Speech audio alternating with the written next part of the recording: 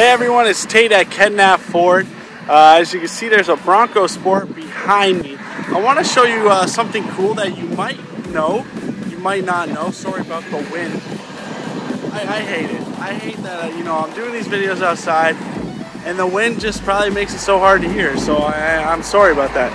All right, anyways, uh, so it's something you could do on the Escapes and the Bronco Sport since uh, they're similar. So I'm going to show you right now. We'll go to the back of this Bronco Sport and I'll show you a little trick uh, that can help uh, you, those that own either the Bronco Sport or the Escape.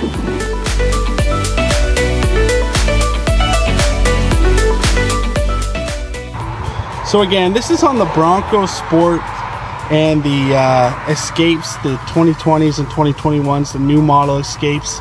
Uh, because the backs are pretty similar here and you may see this on your vehicle. You put the seats down which I've already done. You put the seats down to lay something across but it's not flat. You got that lip and no one likes that. You're trying to push something in have it slide across and obviously that lip will get in the way. Well there is a way to fix it to make it completely flat and that is just to lift this up. This comes right out you see me lift it up.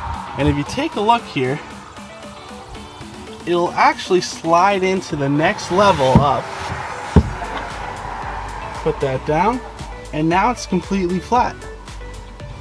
Now you can slide stuff without hitting the, the lips. So again, something that some people might know, uh, but something that people might not know and want to use uh, and just didn't know that was a little feature really just a little thing so now that will be completely flat. If you have a Bronco Sports Badlands though it'll already be like this. It'll already be flat because you'll have that full spare underneath so it'll it'll have to be pushed up so it doesn't go down to this lower level like it does on this base model.